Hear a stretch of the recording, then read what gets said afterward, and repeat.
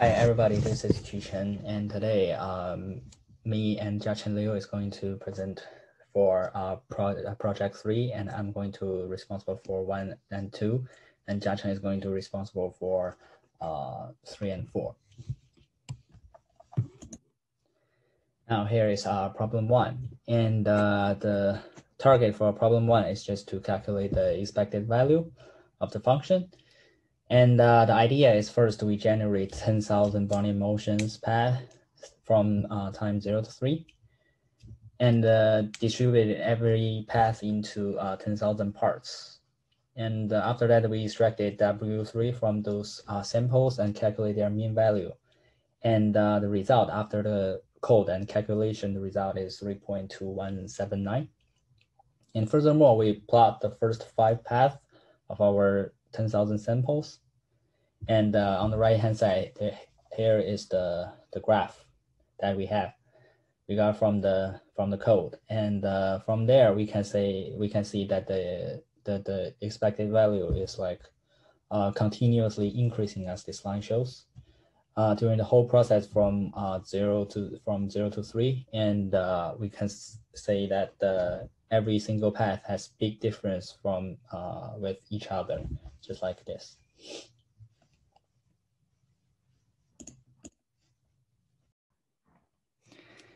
Here is uh, problem two. And according to the uh, problem, we can we just uh, the target is just to get the uh, expected expected value of the uh, the geometric geometric Brownian motion ST. So according to the the problem, we can see that the ST is a geometric Brownian motion. Then by the definition, the ST is equal to this uh, equation. This one is the solution. Uh, and uh, from the equation, we have the drift value, we have the volatility, and uh, the S0 is equals to 90. So by the theory, uh, by, by the theory of Ito process, we have the uh, expectation expected value of, uh, expect value of ST is equals to this equation, and uh, we have the 97.4958 is the uh, equation uh, is the answer of the is the theoretical answer by the uh, by the formula. And uh, and then we use the code as before as the last question, and we generate 10,000 Brownian motions and uh, uh distribute it into 10,000 uh, steps. And this time, the time is from zero to two. And uh, after uh, after the after we run the code, the expected value is 97.1057, which is pretty close to uh, 97.4958. And then as then before, we just plot the first uh, five paths of the 10,000 uh, Brownian motions. And we can see these are, I think these are five possibilities of the stock, the train the, of the stock. And we can see the mean value of the process is, uh, is uh, about 97. So um, as the the number of Brownian motion, if, if we set the number of Brownian motion uh, bigger bigger enough, I think is ultimately going to be same as 97.4958. And if the if the number of uh, Brownian motion, Brownian motion, if we set the number of Brownian motion less, a little bit lesser, around 5,000, then I think then the run the result will be 96 something. So um, I think ultimately it will be matched the uh, the theoretical answer of 97.4958. Uh, now I'm going to pass to uh, uh, Jiachen for problem three, uh, three and four. Thank you. Hello, everyone. Uh, my name is Jiachen Liu, and uh, today I'm going to talk about problem number three and number four in project three. Uh, so in problem three, we are going to evaluate the following expected value and the probability where the Ito's process X involve uh, according to the following SDE, uh, where W is the uh, Wiener process. So in this problem, first we're going to evolve the standard uh, uh, uh Wiener process of WT. And then we are going to split the time interval into n small pieces and uh, then we are going to use these two expressions, dxt and xt, uh, where x not equals to one. to find the process of xt from t equal to zero to t equal to three. Uh, so uh, this whole process is in the form of a vector m times n.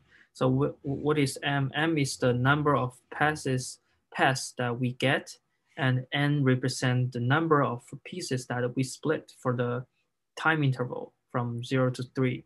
So for example, if m equal to 10,000, then we have 10,000 passes.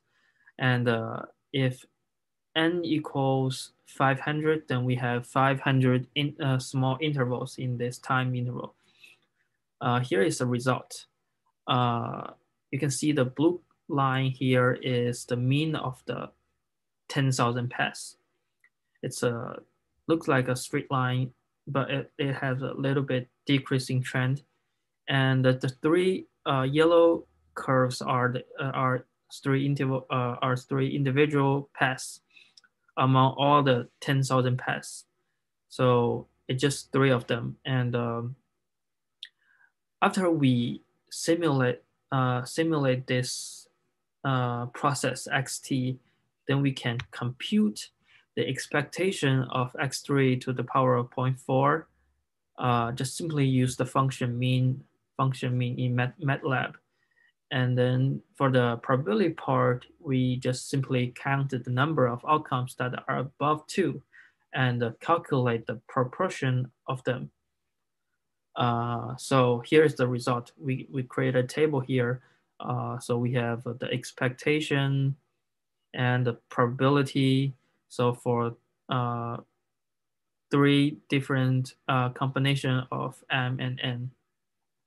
So basically, we can see that the, uh, the expectation is around 0.82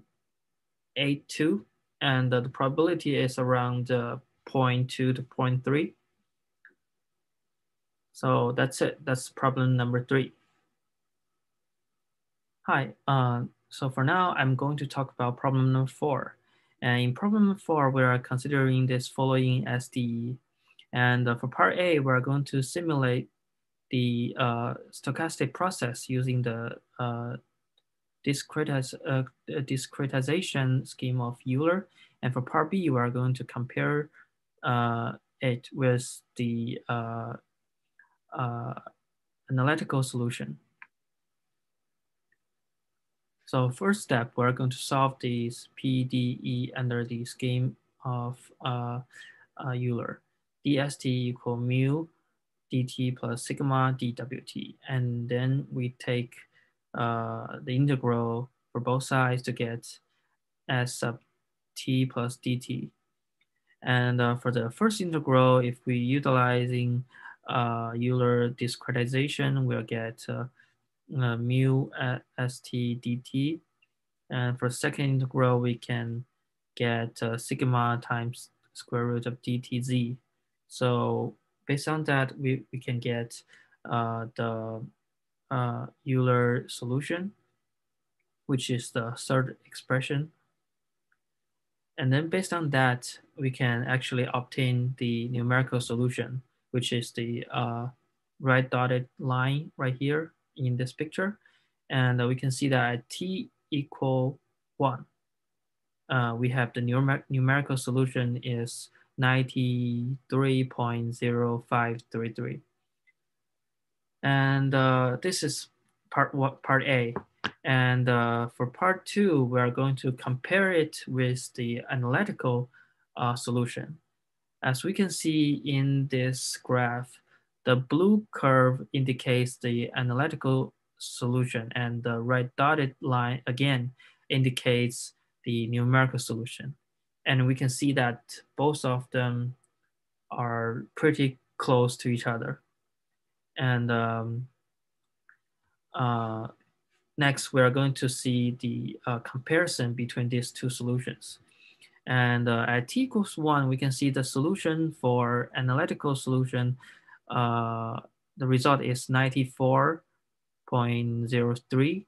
And for the Euler solution is 93.0533 and uh, Therefore, we can compute the absolute error, which is 0.98235. And uh, we can see the error is pretty small. It's very small uh, compared with the result.